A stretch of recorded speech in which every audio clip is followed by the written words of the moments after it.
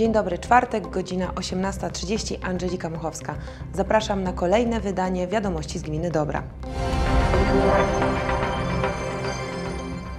Zakończyło się głosowanie na projekty do budżetu obywatelskiego Gminy Dobra. Mieszkańcy mogli oddawać swoje głosy do 7 marca. Głosowanie na projekt do budżetu obywatelskiego Gminy Dobra rozpoczęło się 21 lutego i trwało dwa tygodnie. Mieszkańcy mogli głosować na 25 projektów, 11 inwestycyjnych i 14 nieinwestycyjnych. W połowie marca powinniśmy poznać projekty rekomendowane do realizacji. W budżecie Gminy Dobra zarezerwowano na ten cel milion złotych. Zakończył się etap y, głosowania na projekty w ramach y, budżetu obywatelskiego Gminy Dobra na rok 2022. W ramach y, obecnego głosowania ponad 1600 mieszkańców y, naszej gminy y, oddało swój głos i zadecyduje na jakie nowe inwestycje zostaną przeznaczone środki z tegorocznej puli.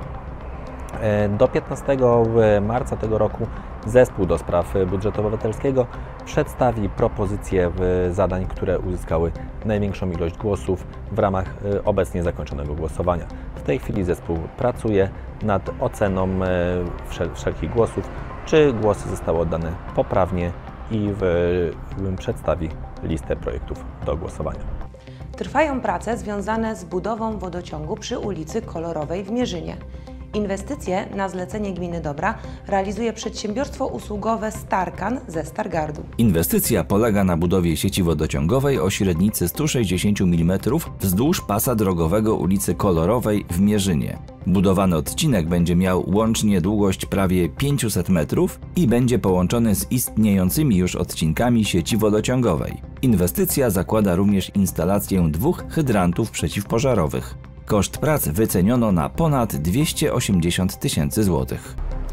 W 2021 roku Gmina Dobra podpisała umowę na realizację e, sieci wodociągowej e, w działce 336 e, przy ulicy Kolorowej w Mierzynie. Obecnie trwają prace związane z daną inwestycją. W ramach tej inwestycji ma powstać e, 500 metrów sieci wodociągowej. Przewidywany termin zakończenia inwestycji to drugi kwartał bieżącego roku. E, Gmina Dobra mm, przeprasza za utrudnienia w ruchu drogowym, a także w okolicy prowadzonych prac. Jednocześnie zwraca się do kierowców i uczestników ruchu drogowego o zachowanie s- szczególnej ostrożności w obszarze prowadzonej inwestycji. Gmina Dobra ogłosiła przetarg na budowę ulicy Pięknej w Dołujach. Droga będzie robiona na odcinku od terenu rekreacyjnego do skrzyżowania z ulicą Sobolową. Na początku marca gmina Dobra ogłosiła przetarg na budowę odcinka ulicy Pięknej w Dołujach.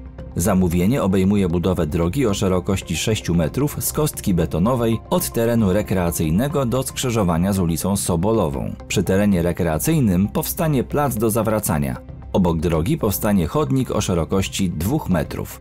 W zakres prac wchodzą także wykonanie odwodnienia, oświetlenia drogowego, wycinka drzew i krzewów wraz z wykonaniem nasadzeń zastępczych, wprowadzenie stałej organizacji ruchu. Firmy zainteresowane realizacją inwestycji mogą składać swoje oferty do 16 marca 2022 roku. Termin wykonania prac budowlanych wynosi 8 miesięcy od dnia zawarcia umowy. Schronisko dla bezdomnych zwierząt w Dobrej włączyło się w pomoc zwierzętom uchodźców z Ukrainy.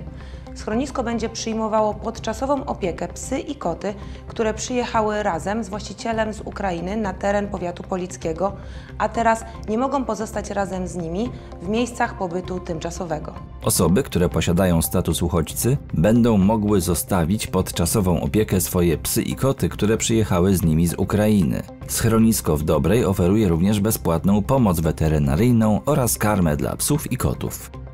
Schronisko dla bezdomnych zwierząt w Dobrej będzie przyjmowało podczasową opiekę zwierzęta em, osób, które przyjechały do nas z Ukrainy i które zostały czasowo, czasowo, czasowo będą mieszkały na terenie powiatu polickiego.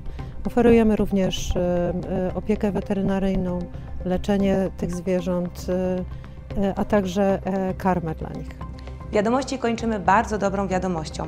Piłkarze z zespołu Erle Dobra zdobyli zimowy puchar prezesa Zachodniopomorskiego Związku Piłki Nożnej. W finale, który odbył się 6 marca w Łobzie, piłkarze z Dobrej pokonali zespół Odra Hojna 1 do 0. No jesteśmy świeżo po, po zdobyciu pucharu, zimowego pucharu prezesa ZZPN. Bardzo się cieszymy. spory sukces jak dla naszego klubu, ponieważ startowało 44 zespoły z całego województwa. Było, było zespołów y, wyżej od nas notowanych kilka, więc jest to dla nas y, ogromny sukces. Jest to pierwszy sukces na skalę całego województwa naszego klubu. Zimowy turniej o Puchar Prezesa ZZPN został zorganizowany jako dodatek do planu przygotowań e, zespołów e, od klasy okręgowej i klas niższych. Tak jak kolega powiedział, 44 ekipy walczyły, a, a nam udało się zwyciężyć. Jest to mm, naprawdę spory sukces dla naszego klubu. Chciałbym pogratulować wszystkim zawodnikom, którzy wzięli udział w tym turnieju, nie tylko e, w tym turnieju finałowym, ale również w całej ścieżce, m, która pozwoliła nam e, zwyciężyć. Dziękujemy za Państwa uwagę. To wszystko, co przygotowaliśmy na dziś. Zapraszamy na kolejne wiadomości z Miny Dobra już za tydzień. Dobrego wieczoru.